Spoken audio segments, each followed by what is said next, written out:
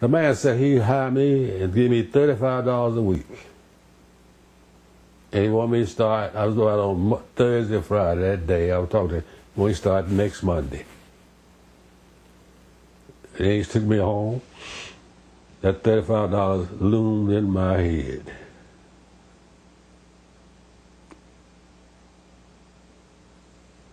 And I decided, okay, and he's called. I said, okay, I'll, I'll, I'll, I'll, I'll go along with it. I'll take it. I'll take the job. First Negro on a white Southern daily paper, you know. Okay, I take the job. I go back down there. The man said, I want you to write Negro news. Oh, you write progressive Negro news, showing how Negroes are doing well in the in the Negro community. See, they had been publishing a paper, a page in the paper called. There was a slip page. You take the page out when it goes to the white community. Happening Happenings among colored people. Every what Wednesday they run that page, and the colored people, the Negroes, knew that they were taking that page, page out. And they stopped taking the banner in droves. So they're desperate. They go hire a Negro for full staff member. That's what I thought they hired me for. They didn't make much difference. Uh, But I went down there, man, went there, he said, okay. Uh, He told me what he wanted me to do, but he didn't give me a desk in the city room, in the newsroom. The first five years, I had to write my stuff at home, in the front room at home. I couldn't type. I didn't own a typewriter. I had a ch- another church member, Mrs. Drake, who taught me English at Pearl High, lived on the street over. She had a typewriter. She let me have her typewriter, loaned me her typewriter.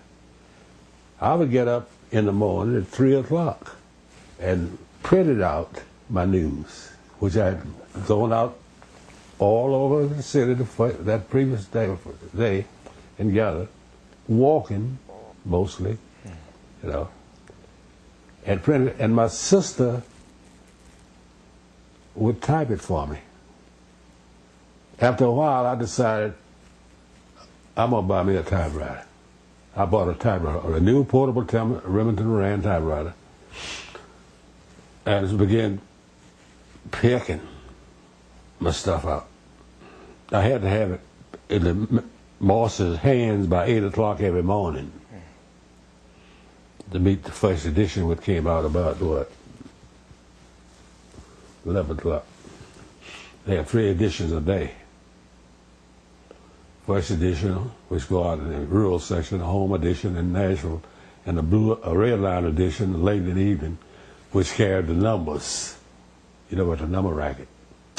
Uh, so, the first five years, I wrote my stuff at home by getting up in the morning, three o'clock, early in the morning.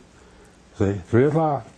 Then they had to have it in Moss's office by eight o'clock.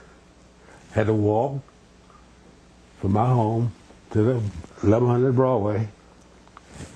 Give it to him, not the city editor. Give it to him. And he would give it to city I guess, after he read it. That, that went on for five years. I was covering the Negro community. I covered the Boy Scouts, the Girl Scouts, I covered the YWCA, the YMCA. I covered Fisk. I covered Tennessee State. I covered American Baptist Seminary. Seminary. I covered churches, all churches, all denominations, black. You know, we're big on Sunday churches. So I worked every day of the week.